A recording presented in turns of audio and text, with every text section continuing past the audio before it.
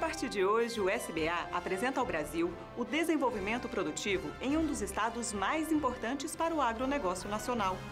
E o nosso destino é o Espírito Santo. A força que move o campo, a pesquisa, os avanços tecnológicos, o melhoramento genético na pecuária, a produção sustentável e a diversidade cultural. Neste programa de estreia, nosso assunto principal é a produção de café. O Espírito Santo é o segundo maior produtor nacional do grão, tem fartas lavouras e reconhecimento internacional. E o que esperar para os próximos anos? Apesar de sempre produzir muito, historicamente o Espírito Santo não era reconhecido por fazer um café de qualidade. Essa história começou a mudar a partir de 2005. E você vai ver ainda. Pesquisadores e instituições rurais se reúnem para debater o avanço do agronegócio no estado. É você manter média anual e, ao mesmo tempo, renovando a sua, sua lavoura. E mais, o artesanato que imita o canto dos pássaros da floresta. Uma história de preservação da arte do pio. Bem, eu sou Érica Machado e este é o Café Capixaba, um programa idealizado pelo SBA em coprodução com o governo do estado do Espírito Santo. Seja bem-vindo!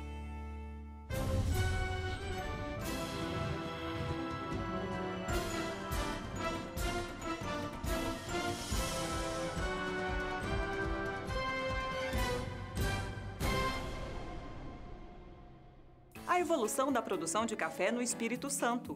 Hoje, o estado capixaba é o segundo maior produtor do grão em todo o Brasil. Na variedade arábica, as lavouras produziram no ano passado 3 milhões de sacas. Como resultado, o Espírito Santo já é o terceiro maior produtor de arábica em todo o país.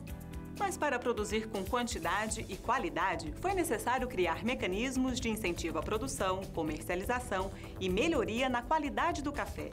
Pensando nisso, o governo capixaba criou o programa Renovar Arábica, um projeto que une cafeicultores, prefeituras e empresas exportadoras. O resultado de toda essa história você acompanha agora na reportagem de Alex Pandini.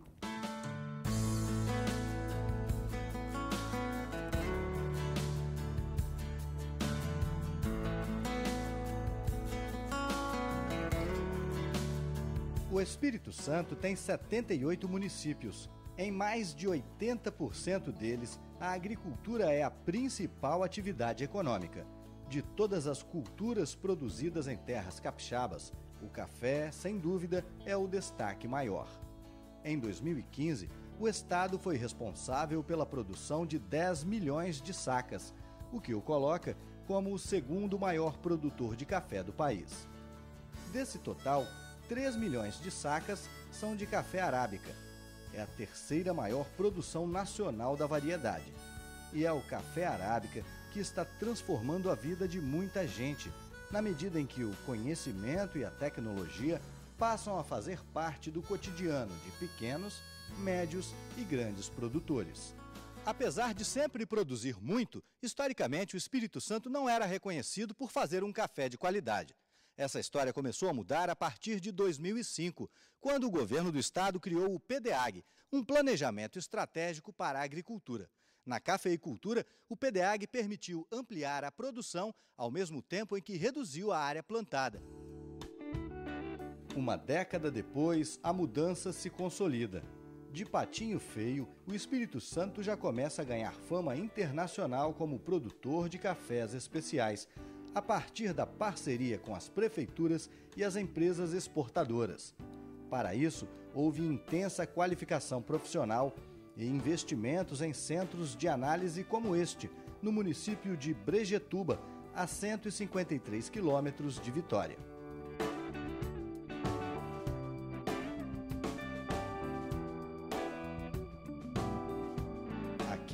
As amostras dos produtores são meticulosamente conferidas dentro de padrões nacionais e internacionais de análise de qualidade. E os técnicos oferecem o suporte necessário para a promoção da mudança de comportamento do produtor rural. O engenheiro agrônomo do INCAPER, Instituto Capixaba de Pesquisa, Assistência Técnica e Extensão Rural, Fabiano Tristão, dá números que ilustram bem o que vem acontecendo. Há 10 anos, o estado produzia 2 milhões de sacas de arábica. em 180 mil hectares, sendo que apenas 300 mil sacas eram de cafés de qualidade superior. Depois do Renovar Arábica, a produção aumentou para 3 milhões de sacas anuais, numa área menor de 150 mil hectares, com 1 milhão de sacas de cafés especiais. Somente o incremento nos cafés de qualidade permitiu um volume de 200 milhões de reais a mais injetados a cada nova safra na economia, dinheiro na veia do produtor rural. De acordo com o engenheiro agrônomo, o sucesso do programa, que continua em ascensão, se deve ao modelo de parceria com a iniciativa privada e as prefeituras. O grande passo foi formar os, o, foi trabalhar as unidades demonstrativas, que são aqueles produtores que servem de vitrine para os demais. A partir disso, a partir desses agricultores, a gente fez o processo de difusão para os demais. E isso vem acontecendo dia a dia. Enquanto os laboratórios de pesquisa permitiram a criação de novas e melhores variedades, a assistência técnica levou ao produtor formas diferentes de trabalhar a lavoura. Fomos conferir de perto o que essa pequena revolução fez na cafeicultura da região.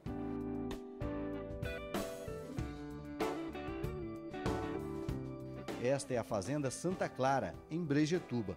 Este ano, o produtor Edmar Zucon espera produzir 12 mil sacas de café arábica, sendo a metade de café superior com alto valor agregado. A venda da produção já está garantida. Primeiro, os melhores cafés vão para a Alemanha, Holanda e Estados Unidos. Para isso, ele teve que obter três certificações internacionais de liberação de exportação como pessoa física. Outras variedades que também atingiram níveis superiores são comercializadas exclusivamente para duas redes de cafeterias gourmet do mercado brasileiro. E as outras 6 mil sacas que não são de cafés especiais, mas têm bom padrão de qualidade, do tipo 6, são negociadas junto a empresas brasileiras de exportação. Edmar nasceu e cresceu vendo cafezais, mas só há pouco tempo, com o Renovar Arábica, é que viu se concretizar o sonho de obter do café um sólido e duradouro patrimônio. Hoje, a Fazenda Santa Clara figura numa seleta lista das 50 fazendas do Brasil onde são produzidos os melhores cafés do país. Eu tento trabalhar na fase de crescimento, não de sobrevivência. O, o que eu espero? Que o mercado de cafés especiais gourmet aumenta, igual está aumentando, né? Saindo aí de, de 10, 15, 20% lá para 30%, 40%, porque vai ter espaço né? para todo mundo, para os produtores, e sem falar que vai incentivar também os preços, né? Vai dar uma alavancada nesses preços dos cafés gourmets.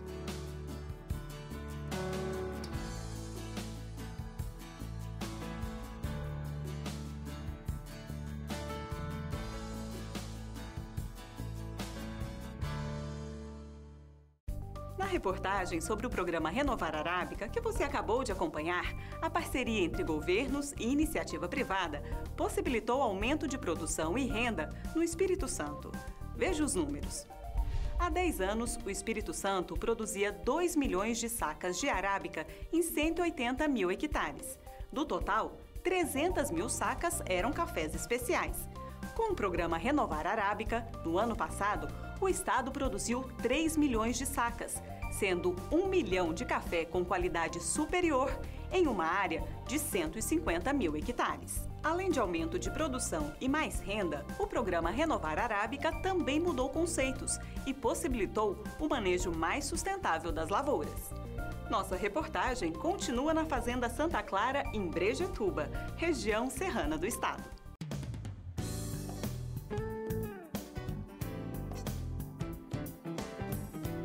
Além de uma estrutura adequada de pesquisa de melhoramento genético e de uma rede de assistência técnica, o Renovar Arábica também contou com a força e o entusiasmo de centenas de agricultores, a grande maioria de base familiar, para mudar conceitos há muito arraigados, transformando as formas tradicionais de manejo das lavouras.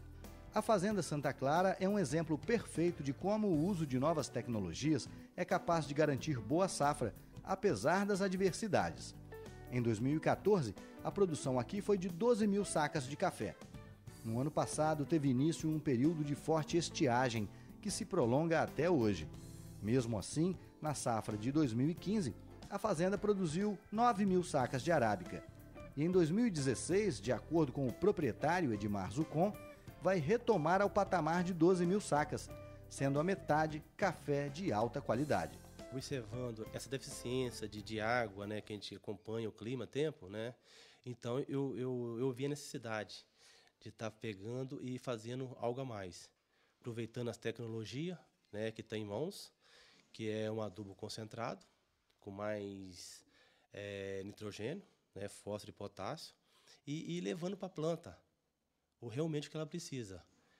E, e, e com isso, consegui aumentar a produtividade para esse safra 2016. Além disso, ele dividiu a lavoura por setores, promovendo ações pontuais em cada setor que permitem ir trocando os pés de café mais antigos por novos, sem reduzir a produção.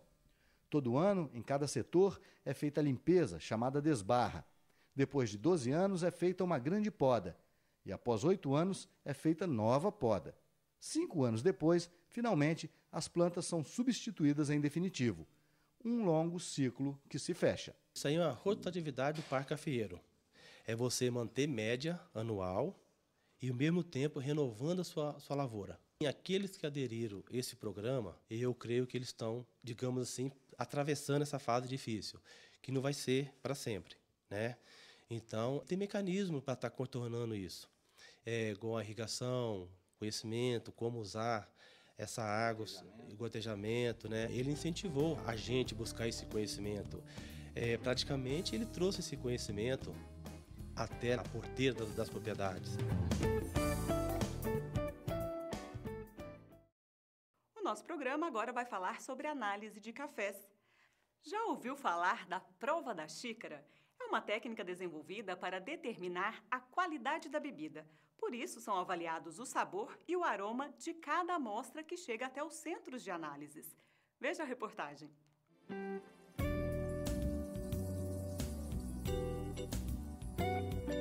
O processo de transformação das lavouras do café arábica no Espírito Santo começou quando laboratórios e centros de pesquisa se debruçaram em busca de variedades mais resistentes enquanto centros de análise foram sendo disseminados pelos municípios, junto com intensa atividade de assistência técnica ao produtor.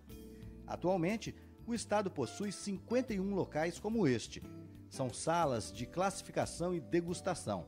Aqui, o produtor traz a amostra de um determinado lote para ser submetida a uma rigorosa análise. Depois que o produtor traz a amostra, começa o trabalho de classificação do café.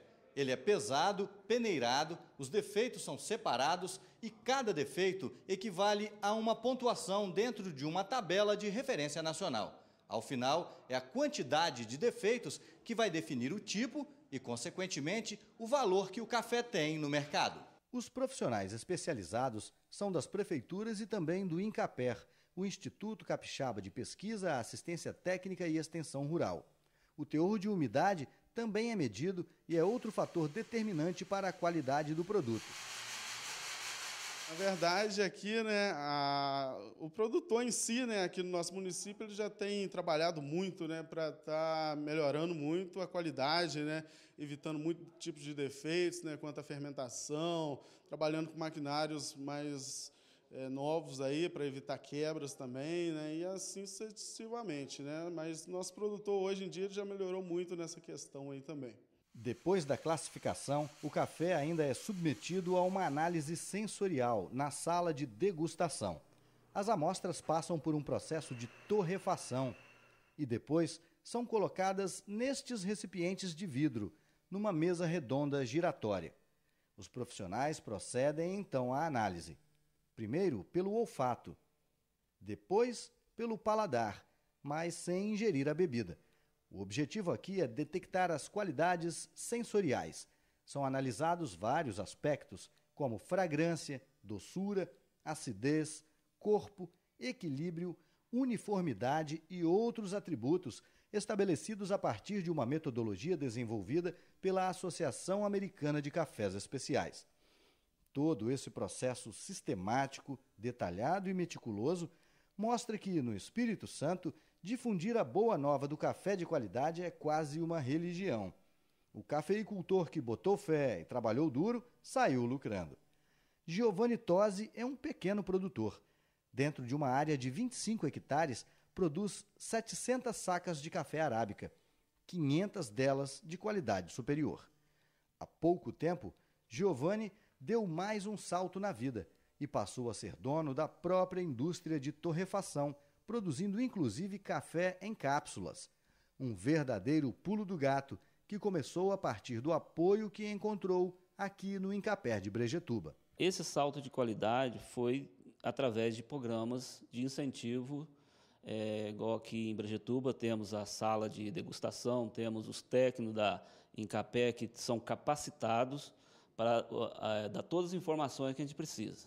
Quando a gente precisa de uma informação, a gente vem até aqui, ou eles vão até na propriedade e tira as dúvidas para a gente estar tá cada vez mais evoluindo em qualidade. Aqui em Brejetuba, o responsável pelo escritório do Incaper é o engenheiro agrônomo Fabiano Tristão. Fabiano, esse trabalho que nós mostramos de classificação e degustação, ele é um trabalho que é desenvolvido em todo o estado. Ele tem um modelo que é seguido e que dependeu de muita qualificação. Como foi possível transmitir essas informações e mudar a consciência, a cultura e o comportamento do cafeicultor? É, o primeiro passo é você formar as equipes nos municípios, treinar essas equipes, ou seja, trazer essas tecnologias, capacitar bem esses técnicos que vão trabalhar, formar. Houve um processo de formação de degustadores e classificadores de café ao longo de, de, todos esses anos de trabalho. E esse processo de formação desses profissionais ele é um processo contínuo não, não para. Hoje nós temos no estado 51 salas de, de degustação e classificação sendo dessas 30 públicas ou seja parceria do Incapé, com prefeitura, estado, prefeitura, que funciona atendendo esses cafeicultores. Agora, isso precisa ser uma mão de obra bastante qualificada, bons degustadores, calibrados, capazes de fornecer bons saldos né, de qualidade desses cafés e também formar o agricultor o que, que ele pode fazer para melhorar essa qualidade na propriedade. Porque a sala, além de atestar a qualidade do café, ela também tem a função de ensinar o agricultor onde ele está errando, o que, que ele pode melhorar para fazer um café especial.